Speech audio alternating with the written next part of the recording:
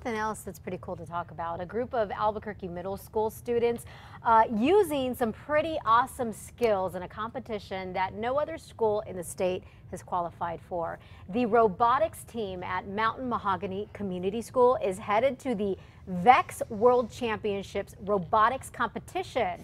The team is made up of 16 students, all 6th through 8th graders, and this is a great honor for them, especially because one third of these students qualify for special education.